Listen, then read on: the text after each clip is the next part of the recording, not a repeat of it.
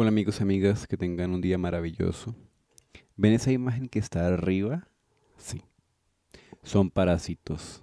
Y bueno, voy a traerles un pequeño artículo, pero antes les voy a contar que yo tenía un primo, un chino, creo que en su entonces tenía 12 años, 12, 13, hasta 14 creo que lo hizo. Le gustaba besar a sus mascotas, pero era una chupalina.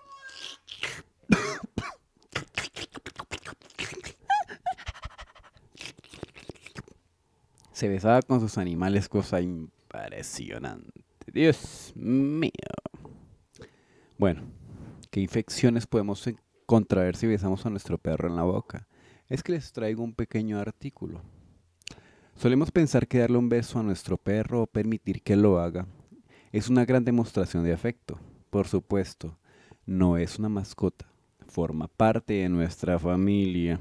Para algunos, algunas personas se toman a sus animales como cosa seria, como un hijo.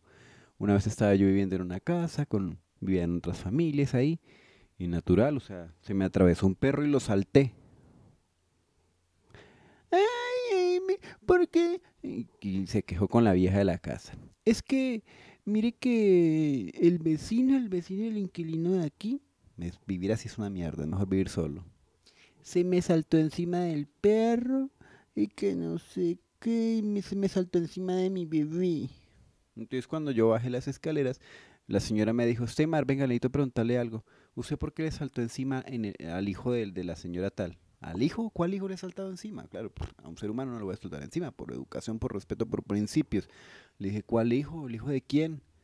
No, pues es el hijo de ella. El perro es el hijo de ella. Yo, mierda, pero qué cosas, ¿no?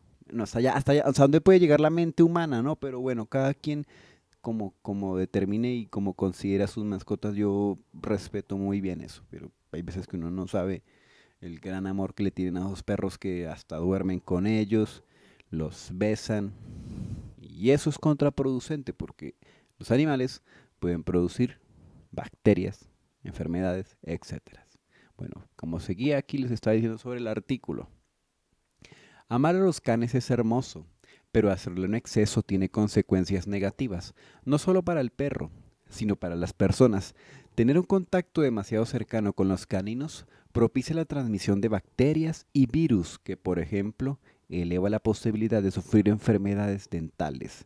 Según un estudio llevado a cabo por un grupo de científicos japoneses de la Universidad de Osaka y liberados por el doctor Yoki Yamkasi, Muchas personas consideran a su perro como un miembro más de la familia, y lo cual no lo considero mal, está bien, bueno.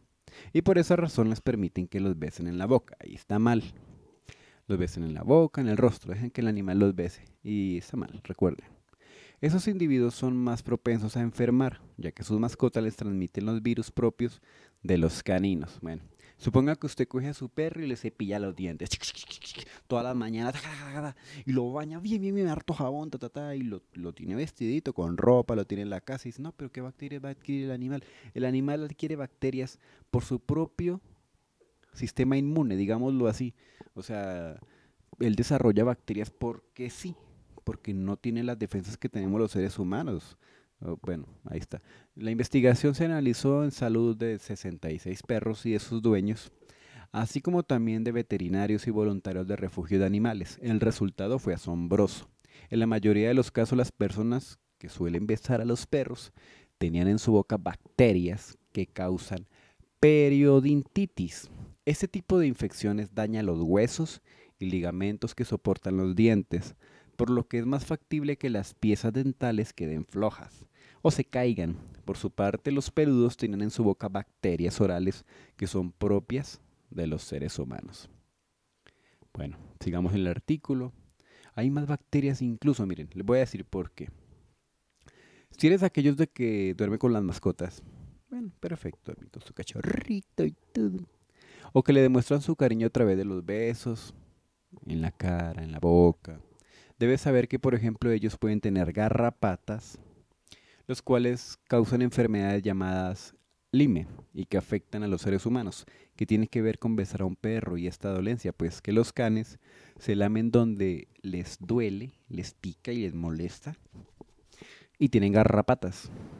Intentan quitárselas mordiendo la zona. Además, si estos parásitos pasan mucho tiempo aferradas a la piel del animal y le chupan la sangre, pueden contagiar una enfermedad que luego es pasada a los humanos a través de la saliva. Y así cantidad de enfermedades. Bueno, ahora les quería contar la historia.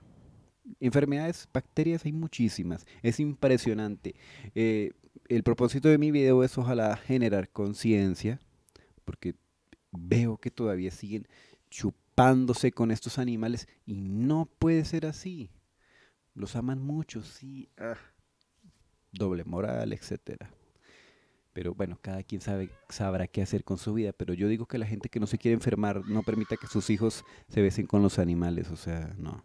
Bañenlo muy bien, denle los cuidados lo mejor posible, así más o menos si pueden tener una cercanía con el animal. Bueno, eso por un lado. No les voy a decir que no los amen, ámenlos. Pero demostraciones de afecto hasta cierto punto nada más. Bueno. Ahora, yo digo que quería generar conciencia, etcétera, etcétera. Hay algo que se me está olvidando que iba a decir. Ah, bueno, ya, ya me acordé. Qué pena la demora.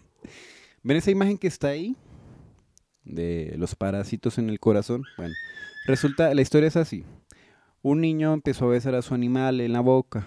Empezó a darle cariño, dormir con él. He visto personas que duermen con los animales y resultan con llagas por aquí en el cuello, con bolas, y son cosas impresionantes. El chino empezó a besarse con el perrito, porque pues para él era algo de amor, etc. Resulta que esos parásitos se los encontraron en el corazón. El chico murió porque le dio un paro cardíaco, porque obviamente estaba repleto de, parásitos, se fueron directamente al corazón. Me imagino que viajaron por el torrente sanguíneo y claro, pues el corazón es donde se, se acumula todo, ¿no? La bomba que... Entonces ahí se acumularon los parásitos y mataron al chico desgraciadamente. Ojalá tomen conciencia y lastimosamente no se puede tener tanto contacto con esos animales. Quiéranlos, ámenlos, pero el afecto tiene que ser hasta cierto nivel, hasta cierto punto. Se cuiden y que tengan un hermoso